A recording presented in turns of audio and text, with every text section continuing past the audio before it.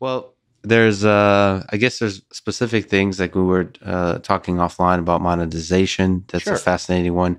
Very difficult uh, It- as an independent. Yeah. And uh one of the things that Joe is facing with um I don't know if you're paying attention, but he joined Spotify with a hundred million dollar deal for going exclusive on their platform. The idea of exclusivity that one, I don't give a damn about money personally, but I'm single, so and I I, I like I like living in a shitty place, so I, don't, I, I enjoy.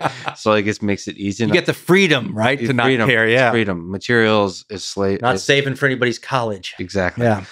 Okay, so uh, on that on that point, but I also okay, maybe it's romanticization, but I feel like podcasting is pirate radio, and when I first heard about Spotify partnering up with Joe, I was like, you know, fuck the man. I I said I I even I drafted a few tweets and so on, just like attacking Spotify. Then I calmed myself down that you can't lock up this special thing we have. Uh, but then I realized that maybe that these are vehicles for just reaching more people and actually respecting podcasters more and so on. So that's what I mean by it's unclear what the journey is because uh, you also serve as beacon for now there's like millions, uh, 1 million plus podcasters. Uh, I, I, I wonder what the journey is. Do you have a sense? Um, are you romantic in the same kind of way in, in, in feeling that because you you have a roots in radio too?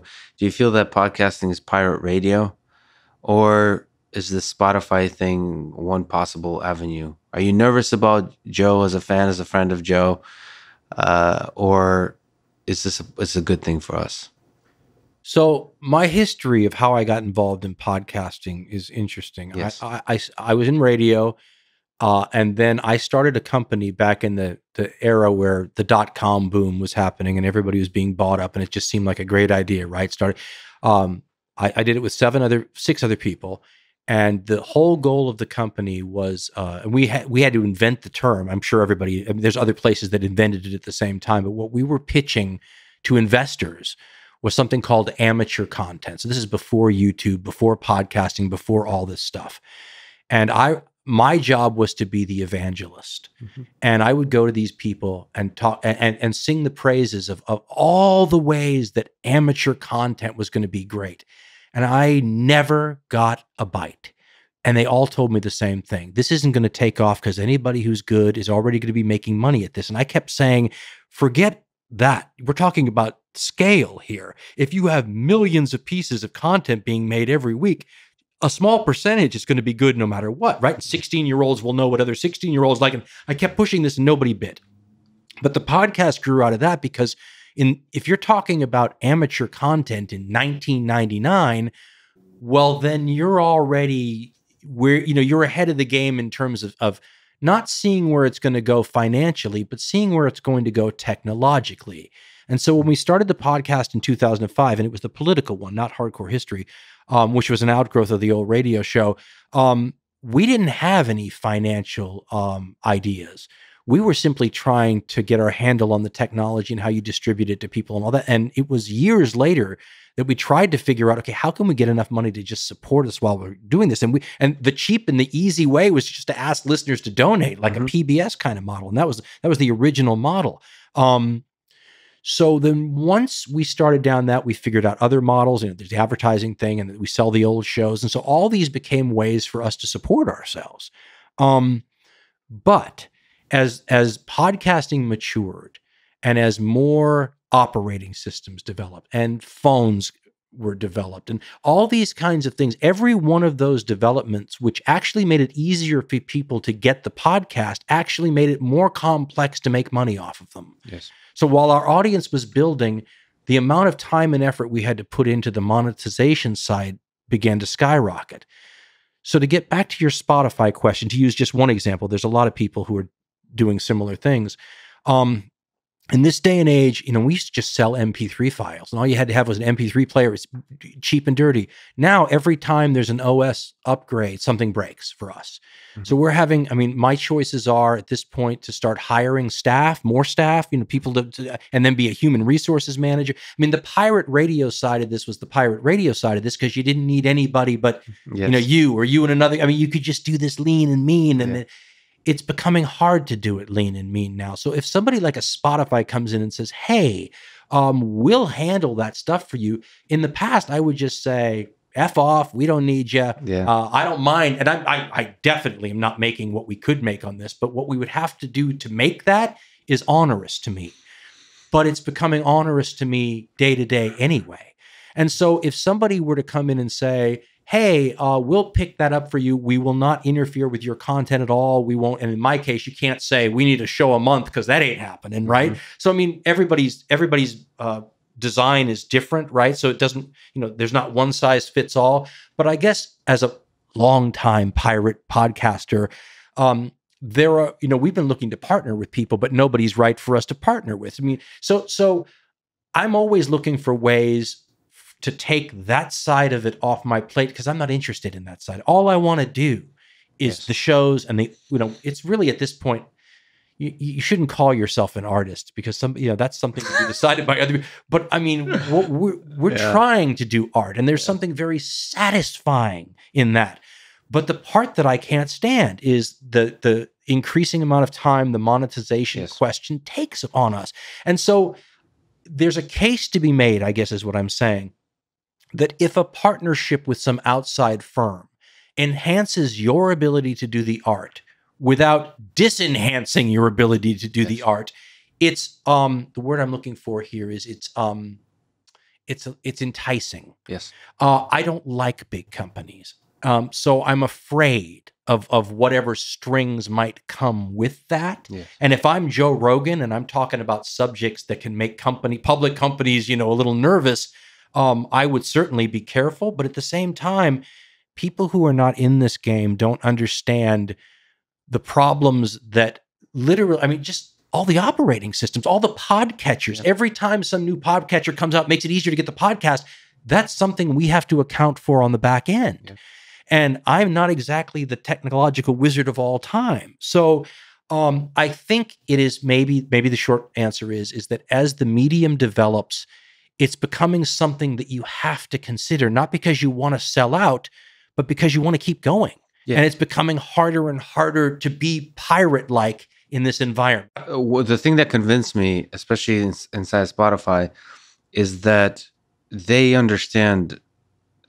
So if you walk into this whole thing with some skepticism, as you're saying, of big uh, companies, then then it, it works because Spotify understands the magic that makes podcasting or they appear to in part, at least they understand enough to respect Joe Rogan. And despite what I don't, I don't know if you. Uh, so there's the internet, and there's people with opinions on the internet. Really? Yes. I've not heard about that. and they have opinions about about Joe and Spotify. But you know, the reality is, is two things. In private conversation with Joe, and in general, there's there's two important things. One, Spotify literally doesn't tell Joe anything like all the people that think they that, that Spotify somehow pushing Joe in this direction it's or that contractual. Didn't didn't he didn't he insist yeah, upon that? It's yeah, in the contract, yeah, but also, you know, companies have a way of even with the contract. They sure do to be you know marketing people hey i know we're not forcing you yeah yeah yeah. i hate that. Yeah. yeah. but joe i'm with you. it what you and joe are the same and spotify is smart enough not to send a single email of that kind. That's really smart. And, and, they leave they leave them be. There is meetings inside spotify that like people I've read about those yeah. people complain but those meetings never reach joe. That that never that's like company stuff. And the idea that, that spotify is different than pirate radio. The the difficult thing about podcasting is nobody gives a damn about your podcast. You're alone in this. I mean, there's fans and stuff, but nobody uh, nobody's uh, looking out for you. Yeah, yeah. And the nice thing about Spotify is they want Joe to grow, uh, Joe's podcast to succeed even more. That's uh, what Joe talked about. Is that's the difference between YouTube and Spotify.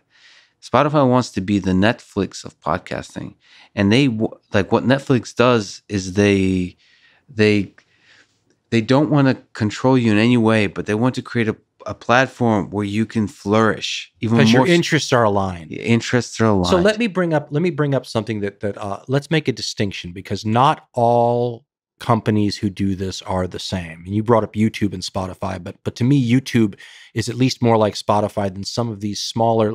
Uh, the term is walled garden, right? You've heard the term Yes. walled garden. Okay, so um, I've been around podcasting so long now that I've seen rounds of consolidation over the years, and they come in waves, and then all of a sudden. So you'll get, uh, and I'm not going to mention any names, but but up until recently, the consolidation was happening with relatively small firms compared to people like Spotify.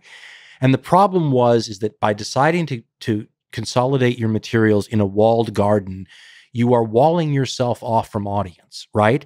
Um, so your choice is I'm going to accept this amount of money from this company, but the loss is going to be a large chunk of my audience. And that's a catch 22 because your negotiating power with that company is based on your audience size. So if signing up with them diminishes your audience size, you lose negotiating power. But when you get to the level of a Spotify, to just pick them out, there's other players, um, but you brought up Spotify specifically.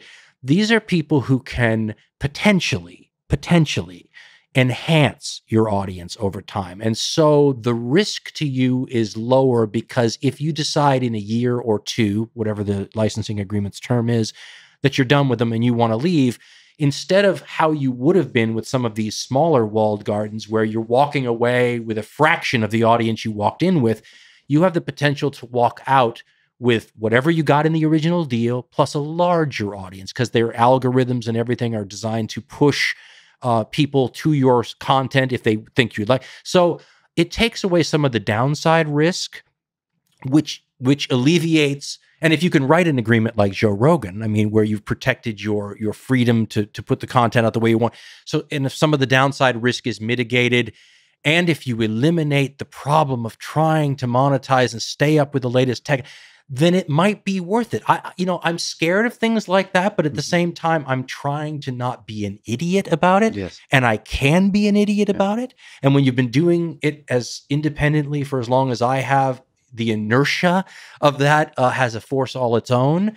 But I'm, I, I'm, I'm inhibited enough in what I'm trying to do on this other end that it's opened me at least to listening to people. yes. Um, but um, listen, at the same time, I love my audience, and it, sounds like a cliche, but they're literally the reason I'm here. So I want to make sure that whatever I do, if I can, is in keeping with a relationship that I've developed with these people over 15 years. Um, but like you said, no matter what you do, you are because see, here's the thing: if you don't sign up with one of those companies to make it easier for them to get your stuff on this hand, Mhm. They might yell at you for how difficult it is because the new OS, the new Yep. the new operating system just updated and you just I can't get your so either way you're opening yourself up to ridicule at this point. All of that makes it easier to go. Well, if the right deal came along and Yep. they weren't screwing me and they weren't screwing my audience and blah blah. Um, you know, I mean, again, in this business, when you're talking about cutting edge technology that is ever changing, and as you said, a million podcasts and growing, I think you have to try to maintain flexibility. And especially if they can mitigate the downside risk, I think you have to. I think you'd be an idiot to not at least try to stay up on the current trends. And look, I'm watching Joe. I'm going, okay, let's see how it goes for Joe. You Yeah. know? I mean, if if, Yeah, if yeah. if he's like, ah, this is terrible, I'm getting out of this, you go, okay, those people are. Yeah. you know. So Joe's Joe's put himself out as a guinea pig, and I, and the rest of us guinea pigs appreciate it. as a huge as a fan of uh, your show as a, and as a fan of Netflix, the the people there, I think I can speak for like millions of people in hope that hardcore history comes to Netflix or if Spotify becomes the Netflix of podcasting then to Spotify. There's something at its best that they bring out the you said artists, so I, I can say it is they bring out the best out of the artists. They they remove some of the headache and somehow like they they put at, at their best netflix for example is able to enforce and find the the beauty and the power in the creations that you make even better than you like they don't interfere with the creations but they somehow It's a, it's a branding thing probably Yeah, too. but interfering would be that would be a no go for th- that's right, Yeah. absolutely. They- that can't that can't happen. but that's why Netflix is masterful. They they seem to not interfere with the talent, as opposed to I could throw uh, other people under the bus like There's Amazon. a lot of places under the bus that could be thrown. Absolutely. So I would love. I know there's probably people screaming yes right now. Uh, in terms of hardcore history on Netflix would be awesome.